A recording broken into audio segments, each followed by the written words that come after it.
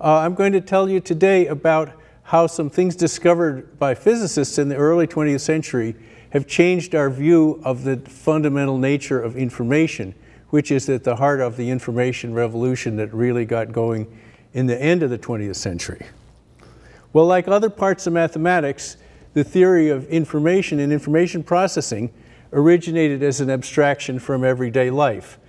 Uh, if you're a student of Latin, you will know that calculation is a manipulation of pebbles and a digit is a finger or toe. Uh, and this uh, abstraction was, was uh, crystallized by people like Turing and Shannon and von Neumann into the theory of information and information processing. But unfortunately, these abstractions are too narrow. Uh, the quantum theory, which was developed in the early 20th century by physicists and chemists, now provides a more complete and uh, natural, indeed, arena for developing the concepts, the abstract concepts of communication and computation. So what people who do information processing and storage and com computing have used as information carriers like like a signal on, the, on an Ethernet cable or a hole in a punch card, were what a physicist would call uh, classical systems. That is, their states are in principle reliably distinguishable, and you can read the state of something without disturbing it. And uh, almost so fundamental an idea that nobody even thought of saying it, to describe, thoroughly describe two things, it suffices to describe each one separately.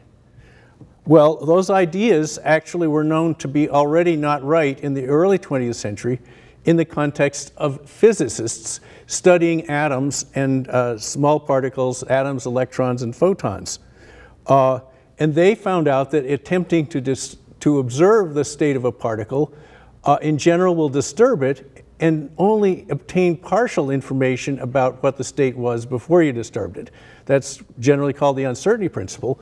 And they also found that two particles can exist in an entangled state in which they behave in ways that can't be explained by supposing that they were that the, each particle had some state of its own, maybe a state that you don't know.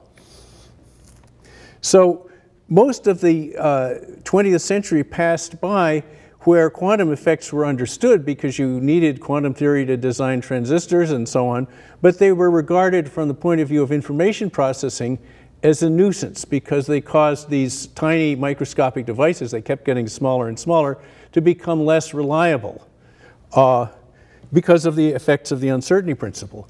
But toward the end of the 20th century, it was understood that quantum effects have positive consequences that they make possible new kinds of information processing like, uh, like uh, quantum cryptography and uh, dramatically speeding up some classically hard comp computations. And to understand how these things work, you really need to understand entanglement, which is an idea that the average person on the street doesn't really understand. So I'm going to try to explain the difference between ordinary classical information, or what we call information, which everybody knows about because we're in the middle of an information society, and quantum information by uh, comparing quantum information to the information in a dream. Uh, unlike the information in a book, the information in a dream is private in the sense that if you try to, to uh, explain your dream to somebody or describe it, you forget what the dream was and only remember what you said about it. And it's inherently private. You can lie about your dream and nobody will catch you, except maybe your spouse. But unlike the theory of, of, of uh, dreams, uh, despite the best efforts of Sigmund Freud, uh, there is a well-developed mathematical theory of quantum information, which I will not belabor you with most of the details of. Uh, so there are important differences, but also there are important similarities to ordinary what a physicist would call, and what I will henceforth call, classical information. We all know that uh, information can be reduced to very simple primitives, just the digits zero and one. For example, you can encode a letter of the alphabet in five uh, bits. Uh, and all processing of information can be reduced to uh, basic logic operations like and and not, acting on these bits, so that you only have to handle the bits one or two at a time to do anything that you would need to do with classical information. Similarly, quantum information is reducible to what we call qubits, which are quantum systems that are capable of two distinguishable states. An example would be a polarized photon or a spin one half atom. And similarly, any processing that you want to do to quantum information can be done by acting on these qubits one and two at a time. Uh, and uh, just as classical bits, the fact that information processing, that software is independent of hardware, so that you can, by making the hardware smaller and faster, you make information processors more and more powerful. They can do the same computations. Similarly, in principle, although we don't have, have not proceeded very far towards a quantum computer, the things you do with quantum information are independent of the particular physical embodiment. That's why I say they are fungible among the different quantum systems, just as classical bits are fungible among the different uh, storage and transmission media that you use for them. So what is the central mathematical principle of quantum mechanics and of quantum information? It's called the superposition principle, and it says that between any two reliably distinguishable states of a physical system, there are other states that are not reliably distinguishable from either original state. Now, of course, uh, we observe this phenomenon all, all, the time. If we scribble a note, there may be a letter that might be, uh, uh, might be an, a, uh, an A or it might be an O, and if we scribble it badly enough or it gets smeared in the rain, it's not perfectly distinguishable. But this is a different kind of imperfect distinguishability. It says that with the most perfect equipment, you could not distinguish these two states. So quantum systems are systems in which there are distinguishable states, but not all states are distinguishable. And the way these states behave is that every quantum system corresponds, its states correspond to directions in space, and any two perpendicular directions correspond to distinguishable states, and any two directions that are not perpendicular correspond to states that are intrinsically imperfectly distinguishable. So any direction is a possible state, but states are only reliably distinguishable if their directions are perpendicular. And in the simplest case, which is two reliably distinguishable states, we're talking about directions in two-dimensional space, like directions a compass needle could point. And this is nicely illustrated by the behavior of polarized photons. So I've got a perspective drawing here of uh, a beam of light in which the photons are coming along. They're all horizontally polarized in this perspective view. And we can use the fact that photons can be horizontally polarized or vertically polarized, as down here, uh, as a way of distinguishing them. Because if you send photons into a calcite crystal or, or oriented this way, and they're horizontally polarized, they'll go straight through. Whereas if they're vertically polarized, they'll get deviated while they're in the crystal and then come out on a shifted path. and this means if we wanted to encode bits in the photons, we could fit one bit in each photon and count them as they came out in these two different paths at the receiving end. Well, of course, the photons can be polarized also at any intermediate angle. So a photon is coming towards you, it can be polarized at any angle relative to the vertical if it's sending towards you. And what happens if you send some of these theta polarized photons into the same equipment? Well, you might think that they, since they're intermediate between horizontal and vertical, they would be deviated by an intermediate amount. But that's not what happens. What happens is that some of them become horizontal and the other ones become vertical. And these two things happen with probabilities that depend on the angle theta. In other words, identically prepared systems, these theta polarized photons, behave differently. This is one of the amazing things about quantum mechanics. They behave differently and randomly, and they forget their original polarization. We're going to come back to that a lot.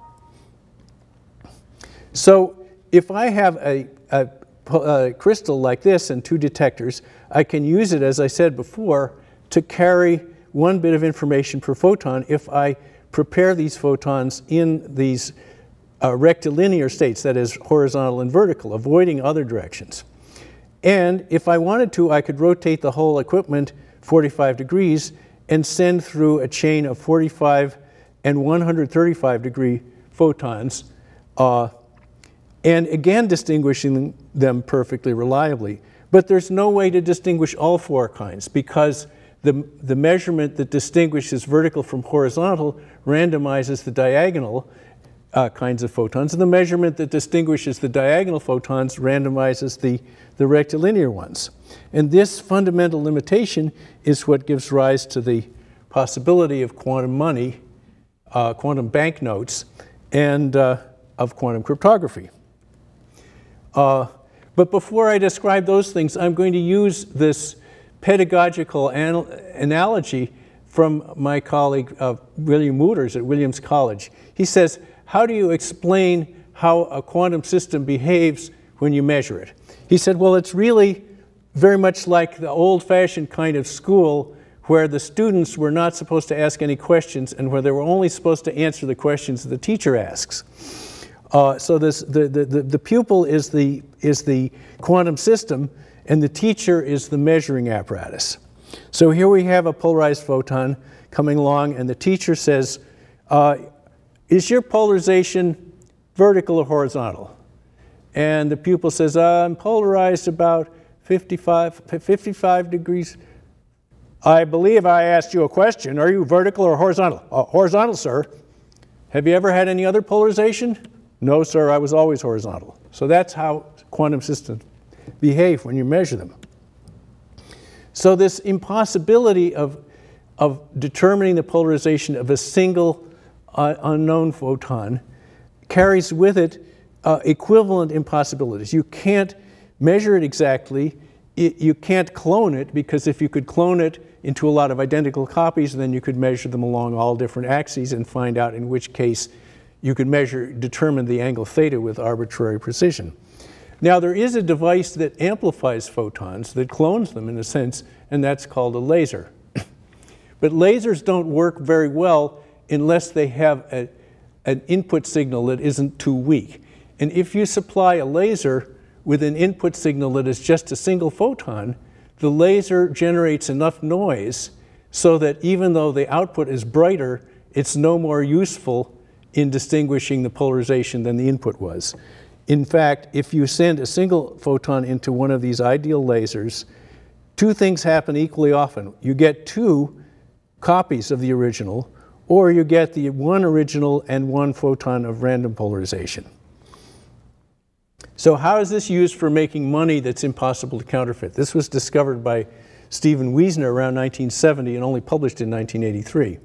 The idea is you take uh, 20 uh, polarized photons of these four kinds and put them in perfectly reflective boxes on the money, 20 of them. Now that's possible in principle, but actual photons die off in a, in a, in a fraction of a, a, second or even a fraction of a millisecond uh, if you try to put them in reflective boxes.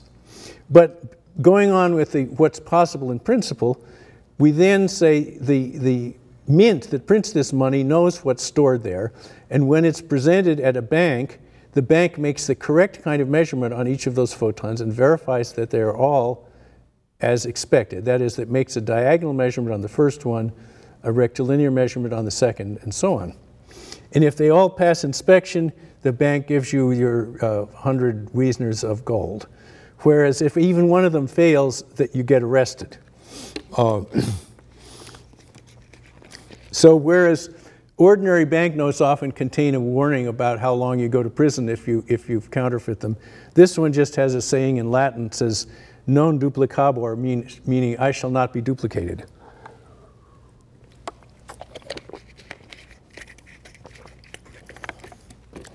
Well, this is pretty uh, impractical because the, it, the photons don't last long enough, but a related device is much more practical, and that is using the photons to carry quantum information rather than to store it. and this, at the bottom of the figure, you see the quantum uh, cryptography apparatus. This is a, clearly a piece of experimental equipment built by theorists. uh, Gilles Brassard, my uh, collaborator at University of Montreal, and our students, uh, including uh, John Smolin here at IBM, who largely helped me build this equipment. Uh, and it allows uh, the users to generate a shared secret information by communicating over a public channel and a channel subject to eavesdropping by their adversary, even though they share no secret information initially, which is a useful cryptographic feat. And now this has been scaled up and done by real experimentalists, so over distances of, of hundreds of kilometers. Well, I would say the most remarkable manifestation of quantum information is, however, entanglement. And I want to talk about where, where entanglement comes from, how to understand it, and what it can be used for. it arises naturally during interaction between quantum systems because of the superposition principle that you already know about. Now remember that I said that any processing on quantum data can be done by one or two qubit operations. So this means if I have a bunch of qubits passing through these wires or quantum wires or optical fibers, then anything I want to do to the state of that bundle of qubits can be done by acting on them one and two at a time. Well, one at a time means just rotating a photon's polarization by some angle. Two at a time would mean using one photon, say the one in this wire, to control what happens to the one in that wire. And the only two qubit interaction we need is the one that corresponds to uh, what in, in classical information processing is called the exclusive OR. In other words, a conditional bit flip, where the control uh, bit, if it's a zero, nothing happens to the target bit. and if it's a one, the target bit gets flipped between one to zero over zero to one. So let's do that here, and we'll use a vertical photon to represent a 1 and a horizontal photon to represent a 0, and we'll keep the horizontal photon to be orange and the vertical photon to be green just so we can tell them apart. this is standard notation for quantum states introduced by Dirac, this sort of half-angle bracket, meaning that uh, this 1 and 0 are not classical 1 and 0, there are two reliably distinguishable quantum states. So what happens here is if the control qubit is a 1, the target qubit gets rotated 90 degrees. If the control qubit is a 0, the target qubit doesn't get rotated. So what would this do? So this is a quantum version of this exclusive OR. It's called a control dot by quantum people. What does a superposition of inputs do? It's a, it's a quantum computing element, so it has to obey the superposition principle.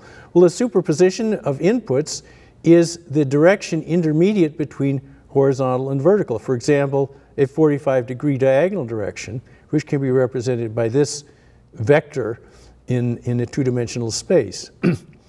and what it does is not, as a, what you might think, of rotating this target qubit by half, half the angle and making 245 degrees.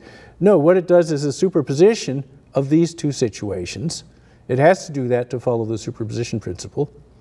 And that means it produces a superposition of both photons being horizontal and both photons being vertical. and that's called an entangled state. Uh, and the fancy uh, color and lettering suggests it's a different kind of state which can't be even described in the language that we use for classical information. This entangled state is a state that is, a, if you have to say what it is, it's a state which is perfectly definite even though the two photons don't have polarizations of their own. It's a state of sameness of their polarizations. so this means that uh, it's not the same as both photons being 45 degrees.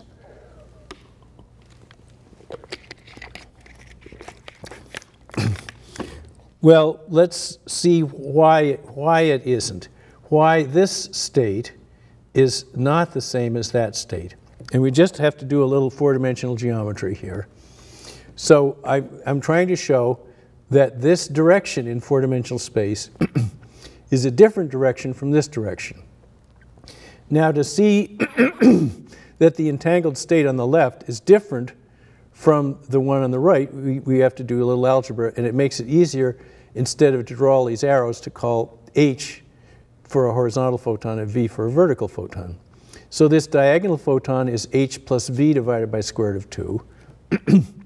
and the 135 degree diagonal, that is the, the perpendicular diagonal direction, is H minus V over square root of 2. And you can see those directions are perpendicular.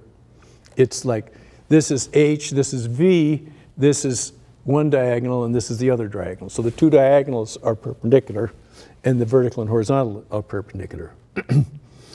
well, we know that what is the a single photon lives in a two-dimensional space, and if we have two separate photons, a green one and an orange one, we can think of four distinguishable directions because whenever I say two letters, the first one is green. I'm going to pronounce it with a green tone of voice. HH, HV, V, wait am I getting it? HH, HV, VH, and VV are all distinguishable because, for example, the first two can be distinguished by measuring the orange photon. So we know that the states of two photons live in a four-dimensional space, and we can work out the state of this, this entangled system on the left. It just says what it is. It's HH plus VV divided by square root of 2. We got that. Well, what about this one? Well, this one is H plus V, and so is this one H plus V, and if we expand that out, it's HH plus HV plus VH plus VV all divided by 2. And that's a different direction in four-dimensional space. So this says that this state can be described by giving a, a polarization to each photon, and this one cannot be described. The best you can say is it's a state of sameness of their polarizations.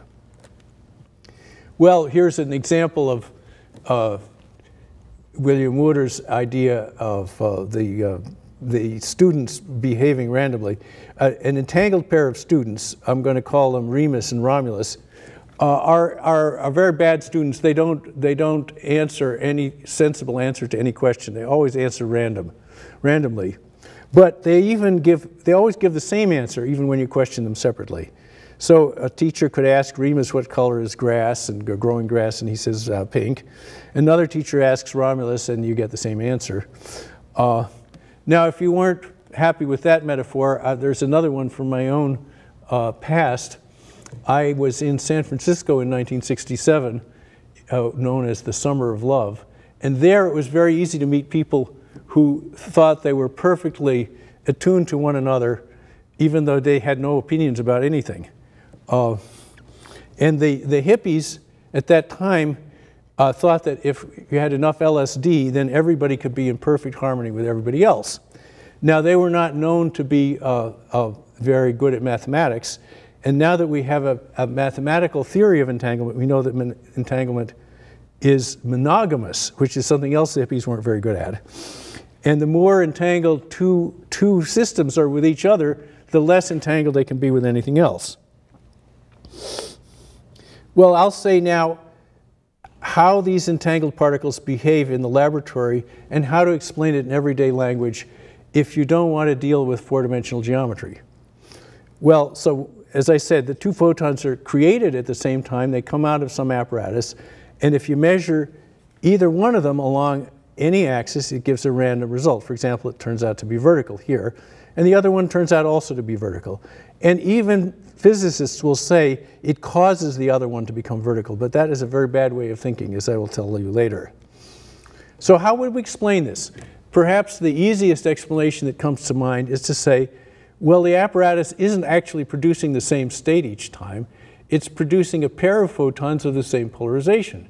But from one shot to another, every time you press the trigger on it, it'll give a different uh, polarization. So sometimes it'll send out two vertical ones, sometimes two at angle theta, sometimes two at horizontal, and so on.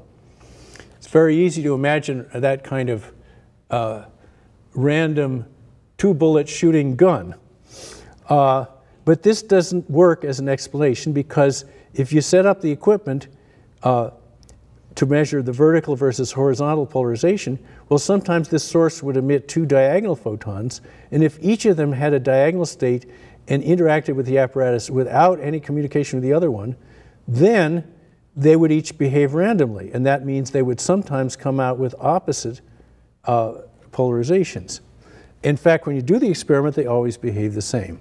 Now, this is a, is a toy model of, uh, well, a toy version of a more complete argument that says any property at all that you would try to attribute to these two photons does not explain the strength of the correlation of their polarizations. Not merely to say, did they have a polarization, but did they have any property that you could attribute to them separately? This was the famous result of, that John Bell discovered in 1964. Well, how do you explain it? Well, the way that people do, uh, but they know that it's a bad way of talking, is instantaneous action at a distance. And the reason that's a bad way of talking is so we, we create this pair of Einstein-Podolsky-Rosen particles. That's another name for entangled particles. And one of them happens to pass through a vertical polarizing filter, and that means that it was vertical. And the other one is vertical too. It sends a message, says, oh, you got to become vertical. And so when we measure it, it turns out to be vertical. Well, of course, that violates uh, special relativity, that messages can't travel faster than the speed of light. And besides, even if you, you could send messages faster than the speed of light, this photon might have bounced off a lot of mirrors and be in some place. How would you even know where to send the message to? So that's not a good explanation. Quantum mechanics gives the right explanation. Uh, and you can go back to the algebra that I gave on a, a few slides ago and get the, exactly the predictions of, of, of, of the oppositeness, I mean the sameness along any axis. But if you have to explain it to somebody at a dinner party and you say, well, let's start thinking in four-dimensional geometry, we got H's and V's and so on, it, I've, my experience is this, this doesn't work very well. So you have to come up with something else to say about it. And so this is not, this is, this is not really very uh, uh, rigorous, but it's a little better than saying that it sends an instantaneous message to the other particle telling it what to do. So we can say it sends a random uncontrollable message backward in time. That is, when this photon gets measured, it decides at that instant to be vertical, and then it decides it always was vertical. This dotted line is the message backward in time. And of course, its twin, Romulus over here, of course, since it had just decided to be vertical, its, its twin, of course, has to be vertical too. And whenever you get around to measuring Romulus, he will turn out also to be vertical. Well, this sounds like even worse thinking than this hippie entanglement, because if you could send a message backward in time, you could tell your uh, broker what, uh, what stocks to buy or sell yesterday. And, and of course, I mean, even, even if you're not rich and don't own any stock, you could certainly avoid some mistakes that you've made in life uh, by just tell, giving yourself good advice. Uh, well, the, the, the, the answer to this uh, argument is that the word message is really not right. If, if you can't control a message, it doesn't work as a message. You can't help, you can't give yourself uh, useful advice or your, your broker by a message that you can't control. And so entanglement behaves like having a pair of magic coins that no matter how far apart you take them and toss them, you'll always get the same answer, but you can't control either one. Now, this is one of two logical situations in which a message backward in time is harmless. The other one is the Cassandra myth, where the message gets propagated, it gets chosen by the future event, but then when you send it into the past, nobody believes it. Well, what, how does this entanglement, is, what, what can we use it for? Well, one of my favorite things uh, for using it for is what is called uh, quantum teleportation which is a way around the problem of getting complete information out of one quantum system and putting it into another.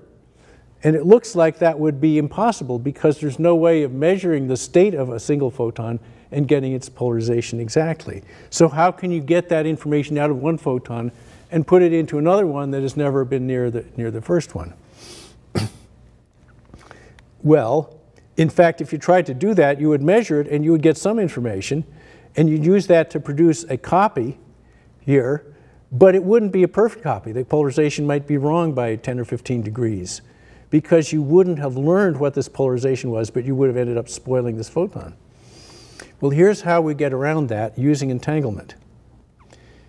And we, now we have three photons. We have an unknown photon over here whose state we want to transplant to a different photon.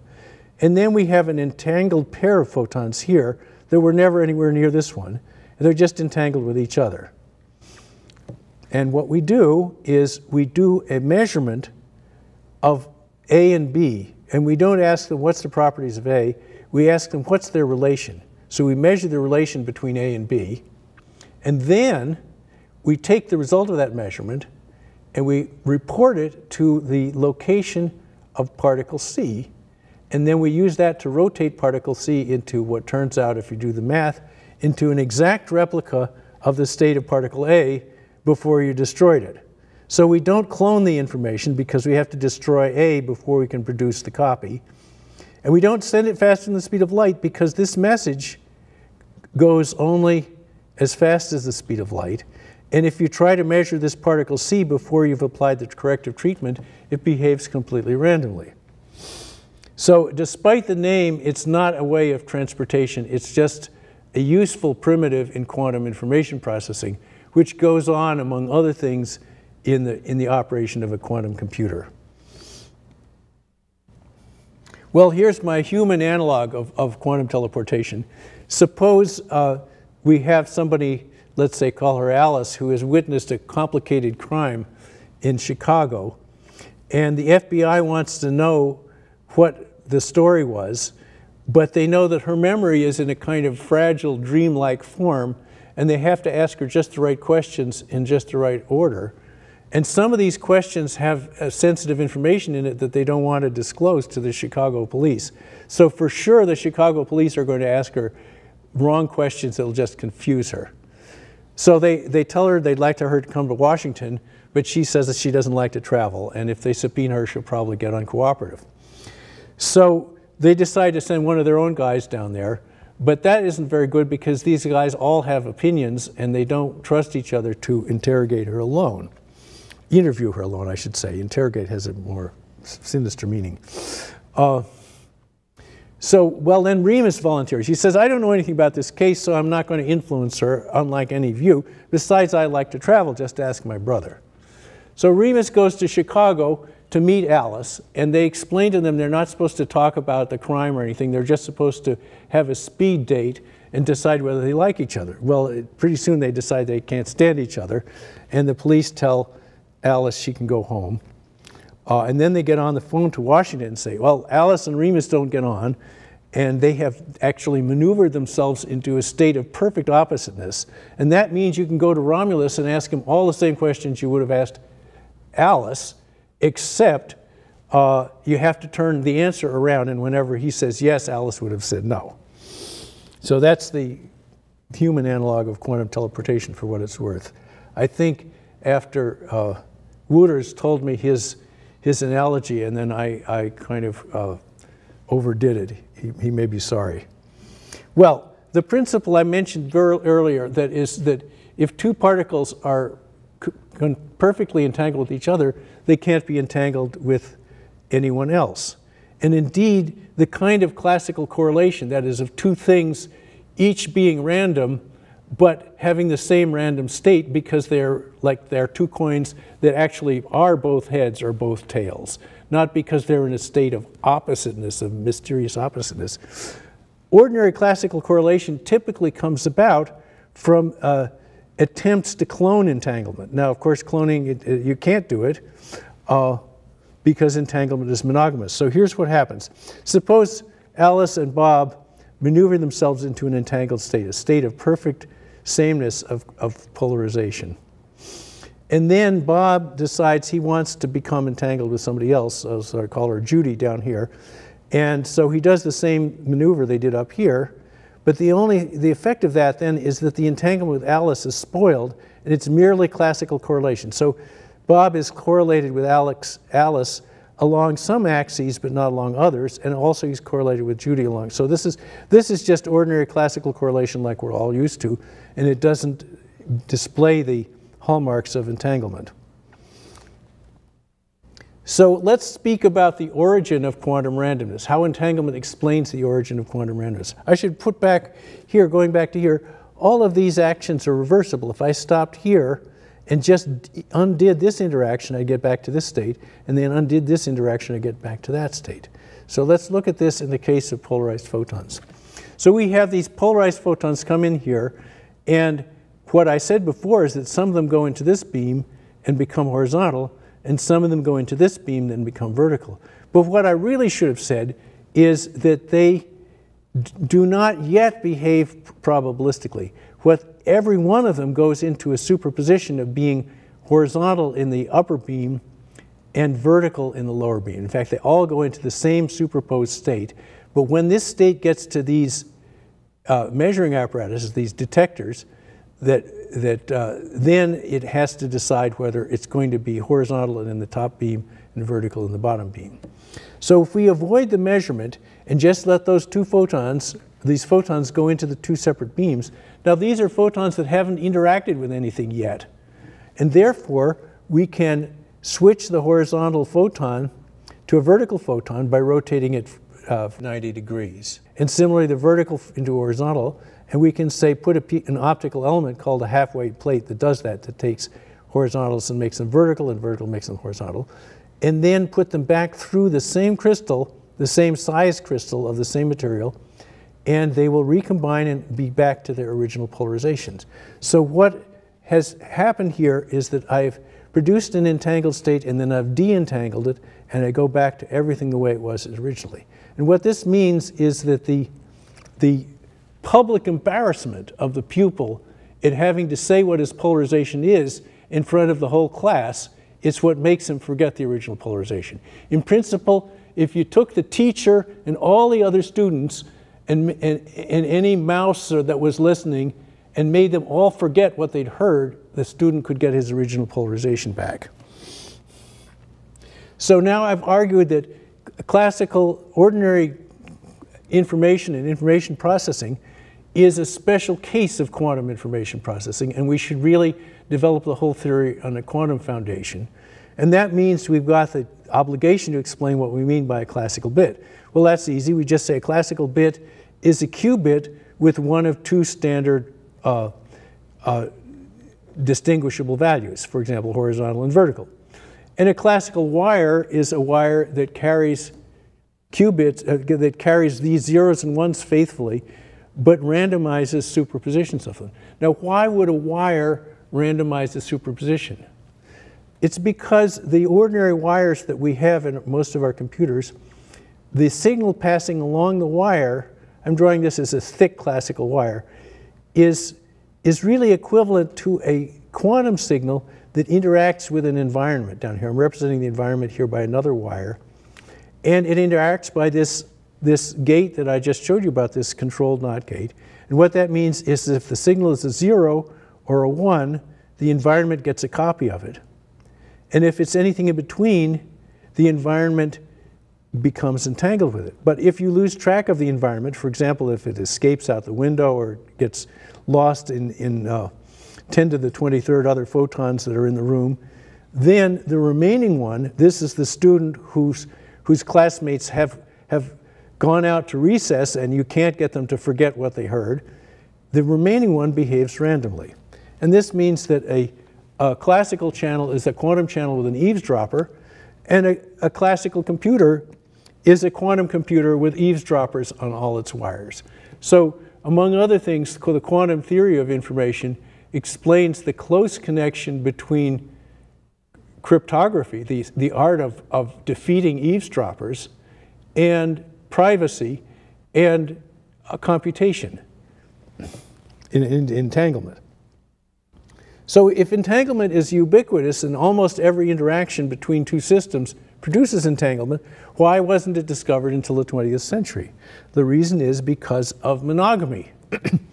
Most systems in nature, other than tiny ones like atoms or photons, especially photons, interact so strongly with their environment that they become entangled with it almost immediately. And that means that if you lose track of any of these things that have become entangled, the remaining ones behave as just as if they're classically correlated. In other words, we have a world that appears to be full of randomness and correlations among things that are individually random, which can all be explained by they all have some particular state and we just don't know what it is. And yet that whole view arises as a side effect of this subtle thing that we didn't know about until uh, the 20th century. And we didn't realize that it had to do with information processing until the last, what, 30 years of the 20th century. Well, of course, the main reason people are so excited about quantum information is a practical reason that is, if you could build a quantum computer, it would greatly speed up some hard problems, like the most famous one is factoring large numbers. now, here's a problem. here's an example of a large number. it's, uh, if, you, if you are very smart, you can realize that this number is the, res the result of multiplying these two. Now, in fact, you don't need a, a, a quantum computer to do that.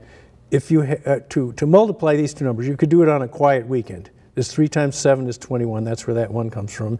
You carry the 2, and then so on. If not too many people are bothering you, you could actually do it, and you could prove that this times this equals that.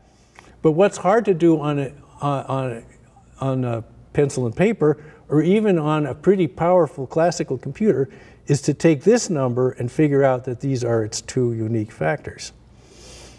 Uh, however, this job is easy, relatively easy for a quantum computer, not a whole lot harder than multiplying.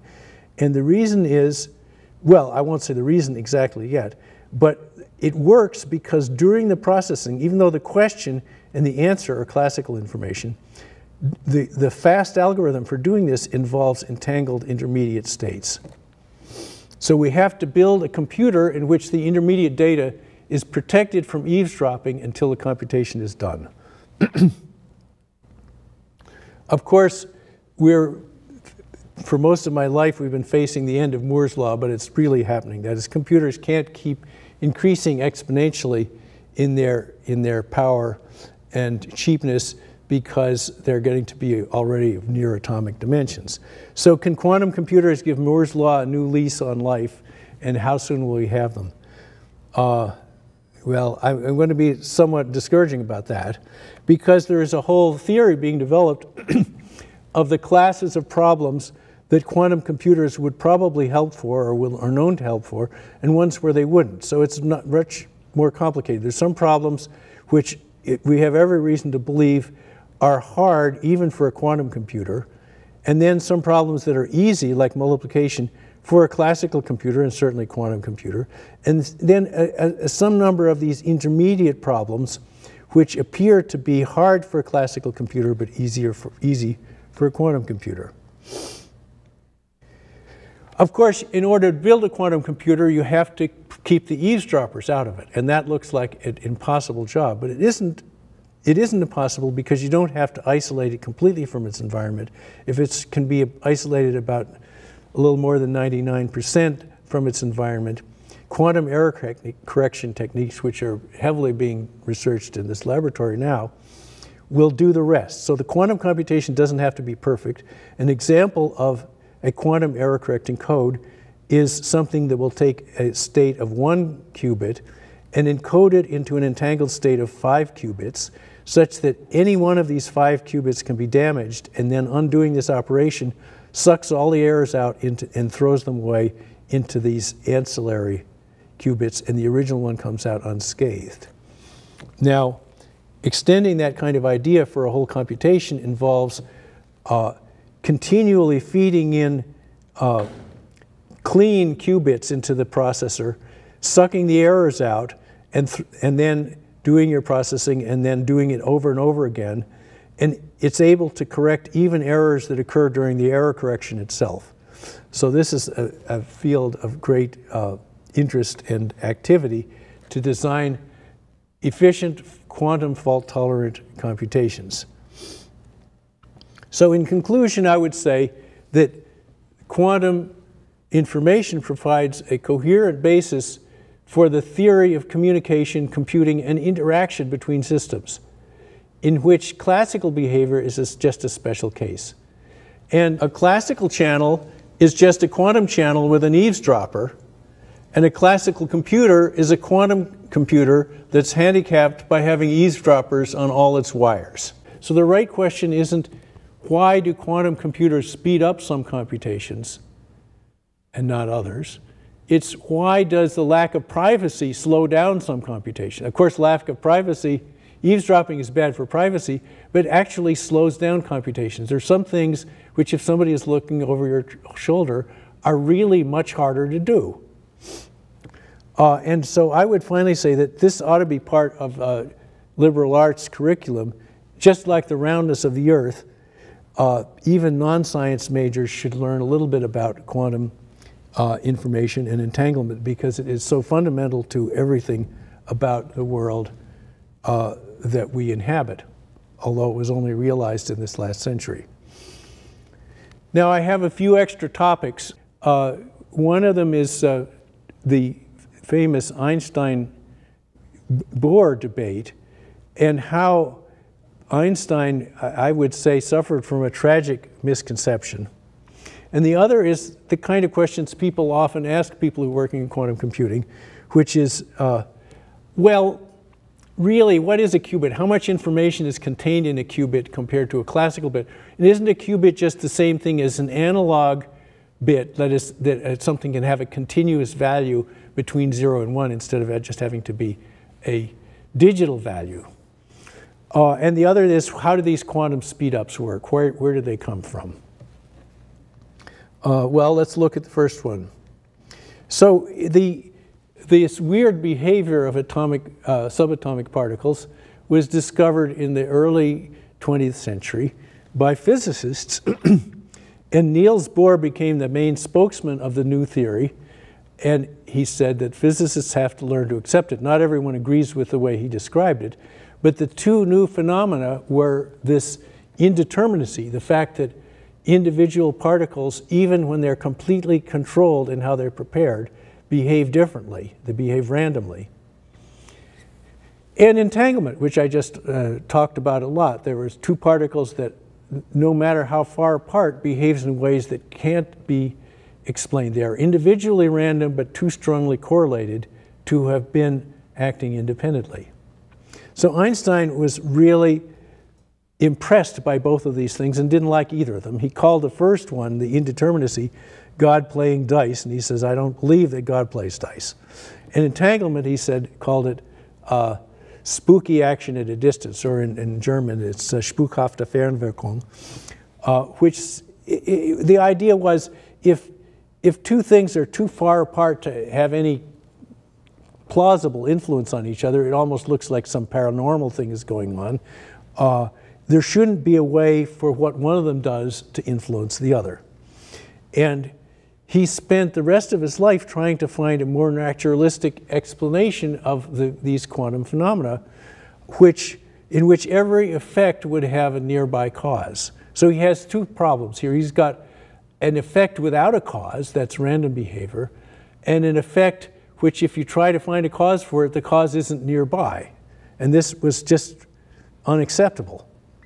Meanwhile, the rest of the physics world uh, went on and, and, and started using these, these, these phenomena and the mathematics that explained them, and yet they couldn't agree with the right language to describe what was happening. So one of the famous slogans, I, I'm not sure who it came from, was people argue about what's really going on in quantum systems. They don't disagree about what will happen when you do an experiment, but they disagree about how to describe what's going to happen. And the serious-minded quantum physicist says, just shut up and calculate, don't tell me what you think is happening. And you might say it was echoing uh, what Bohr said to Einstein when Einstein said that God doesn't play dice, and Bohr says, stop telling God what to do. Uh, well, now it's pretty clear that this most celebrated scientific mind of the 20th century, the, the, the, the one scientist whose name is a household word, was not flexible enough to take this new fact in. And his mistake was in viewing entanglement as some kind of influence of one particle on another.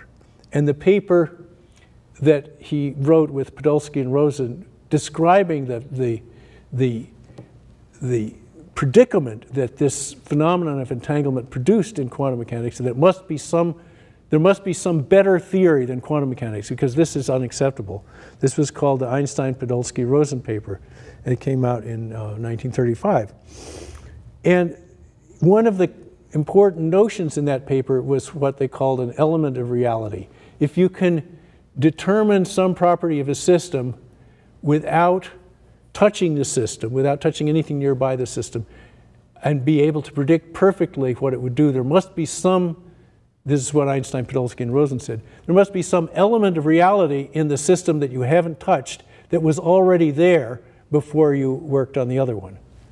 And what the, the, uh, the, the logical jumping to a conclusion that they did was to, get, to have the idea that these elements of reality, a thing that is about, not about what you do to a system, or, but something that was always there before you touched it, that this element of reality had to be localized. So, in other words, the right way to think about it is to say that it's not true that if the whole is in a perfectly definite state, that each part must be in a perfectly definite state. An entangled state is a different kind of state of the whole, which is perfectly definite, but requires the parts to behave randomly. And making any measurement on one of the two particles gives you a random result but allows you to perfectly predict what the other particle would do if you made the same measurement on it. and that's, that's pretty much the way everybody thinks of it now, even though they still can't agree with what language to describe it with. Now, another person around the same time as, as Einstein uh, was Schrodinger, and he had a really better understanding of entanglement than Einstein did, and he called this effect steering. That is, that if you do you measure one system, you find out exactly what the other system it's sort of remotely steering another system, finding out exactly what it would do under certain conditions. But steering is a really bad name for it, as anybody who's driven a car would know. Because what we're talking about is a case where you turn the steering wheel of your car and it has completely unpredictable effect on your car, but has the same effect on the other guy's car. Of course, if he turns his steering wheel, the same thing. So if you had cars like that, you wouldn't realize there was anything strange about them except that they were terribly dangerous until you compared your crash reports afterwards and you realized this eerie correlation was present. Mistakenly believing that entanglement could be used for long range communication, Nick Herbert published a paper and Jack Sarfatti tried to patent this uh, imagined application of it. The refutation of these wrong ideas in the early 1980s by Dieks and Wootters and Zurek is part of what led to the birth of modern quantum information theory. But this wrong idea, like perpetual motion, is so appealing that it is perpetually being rediscovered. And as I said earlier, the proper understanding of entanglement not only explains why it can't be used to communicate, but also how if you generate an entangled state and lose part of it, the remaining parts behave randomly. So the, the intense correlation the monogamy, the inability to make multiple copies of the same correlation, and the random behavior of the parts are all things that fit together mathematically, and you can't have one without having the others. Well, people often ask how much information is in, a, in uh, n qubits compared to n classical bits or n analog variables. And this is somewhat ill-posed question because uh, it neglects entanglement. And also, there's two kinds of information in the state. How much information is required to, to specify it, and how much information can you get out of it? So let's look at the separate answers to these questions. The information required to specify a digital state of n bits is n bits, and the information you can get out of it is n bits. If, if you have n real numbers, numbers between 0 and 1, it takes an infinite amount of information to specify the number, but you, with any particular hardware, you can only get a uh, limited precision on the answer. So that's an example of where there's more information in the system than you can get out. A quantum system with n particles has exponentially many complex numbers. I haven't mentioned the fact that these numbers can be complex, but there's exponential amount of information in it, and yet you can only get n bits out. So you can get out less than if it were an analog variable, and yet the amount of information required to describe the state is much more. Well, there's another difference between digital, analog, and quantum information that is why we are so excited about quantum computers, and that is that there is good error correction for digital information, There isn't good error correction for analog information. If I have a slight error in a voltage that's 0.543 volts instead of 0.544, how do I know that it wasn't 0.544 to begin with rather than it was 0.543 and it had a hundredth of a volt added to it? So there isn't good analog error correction, but there is good quantum error correction, and that means there's the hope of building reliable quantum computers. So another way, I mean, by the time I've, I've missed lunch and I'm getting pretty hungry by now, if you think of a, a computer as a, as a, as a uh, information processor, and the stomach is a food processor. Well, the, thing that's different between a classical computer and a quantum computer is, or the thing that's similar is, you give it a, a classical input of n bits, and you get a classical output of n bits. But the classical computer its intermediate state always has a particular one of these digital states. So there's an n-bit intermediate state of the computer. A quantum computer, because of superposition and entanglement, the intermediate state can be a superposition over exponentially many of these distinct states of its qubits, where each of these numbers is, is an independent variable. 2, 2 to the nth, 2 to the nth numbers, weights on these uh, elements of the superposition, which can even be complex numbers, it just makes it twice as bad. And so we say we, a, a, quantum computer is like a big stomach, which has a lot of room for maneuvering to process the information, which is just actually rotation in a large dimensional space. Whereas a classical computer is limited, and therefore it can do some kinds of problems better. Uh, that's just a very hand waving argument. I can speak of the particular most famous quantum algorithm, which is Shor's algorithm for uh, factoring. Now, the first part of Shor's algorithm boils it down to a problem of period finding, finding the period of a periodic function. Uh, and it works, we have, we have in the computer, we have two registers, we call them the X register and the Y register. And we start out with them both in the zero state. And the first thing the quantum computer does is taking a rather small number of steps, it generates a uniform uh, superposition over all the values of the X register. So instead of both the X register being zero and the Y register being zero, the X register is a uniform superposition of, of zero with the Y register and each individual value of X. Then the next thing we do is to reversibly compute this function, this periodic function. We compute it in superposition. So we fill the computer up with a graph of this periodic function where it repeats a very large number of times.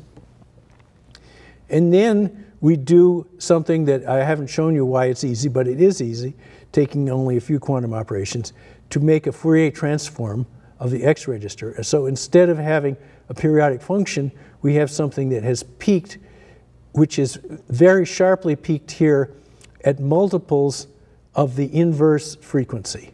And so then we just measure, measure the X register and we get a random one of these peaks because it never finds itself in the space in between. And if these peaks are sharp enough, that's enough to determine the period of the periodic function. And uh, in the case of Shor's algorithm, that means you can factor the number. Now, this is something actually very familiar to physicists. It's the problem of, of multi-slit diffraction. So, or multi-slit interference. As we know, in the two-slit experiment, uh, if you send a single, if you send a light beam in here, and you have this midpoint of the two slits lined up exactly with the, with the axis of this horizontal axis, what we'll get is a maximum probability of, of the uh, photon landing here, a zero probability here, goes up to a maximum, down to a zero, and so on, in a sinusoidal way. Whoops uh, in a sinusoidal pattern. And so I, this will allow me to measure the slit spacing by measuring the spacing of the interference pattern. And what I sometimes do when I'm in a lecture room with a white wall is take a laser, a laser pointer, which has a very definite wavelength of light, and shine it through my shirt onto the wall. And you can see stripes on the wall whose spacing is inversely proportional to the distance between the threads in my shirt. But anyway, if we have two slits, we get this kind of pattern. And if you have enough photons, we can determine the slit spacing. But suppose somebody says, all right, I'm only going to give you one photon. How far apart are the slits? And then we have a problem because with this sinusoidal variation, this is not guaranteed to be on a maximum. It might be anywhere here except at one of these absolute minima. So we only get a little information about the slit spacing from the impact point of one photon. And so let's say we'll say, well, okay, you're not going to give me more photons. How about giving me more slits? And of course, your adversary will say, take all the slits you want. So I say, okay, I'll take a million slits here like this. And we still only get one photon. But now the interference pattern, if you work it out, is extremely sharply peaked. More sharply peaked, the more slits there are. So even one photon will give you a good estimate of the slit spacing. And that's exactly what's happening in Shor's algorithm. And you would say, well, why don't you just build a large uh, diffraction grating and use that to factor large numbers? The reason is that the number of slits is exponential in the size of the quantum computer register. So in other words, to factor two, to factor a, a, a 100-bit number, you would need a diffraction grating with two to the hundredth slits. And even if they were very close together, this would be several light years, uh, many light years in diameter. And of course, it wouldn't, if something that big, you can't use it for a fast computation, as well as being hard to build. So this is essentially the quantum, because of the nature of quantum information, some problems that look like they require an exponentially large amount of classical resources to do this, to do this multi-slit interference can be folded up and made exponentially smaller and put into a quantum computer that has only a few hundred qubits. Or if we have good error correction and build it the way we know how to build it now, a few, a few billion qubits maybe would be needed.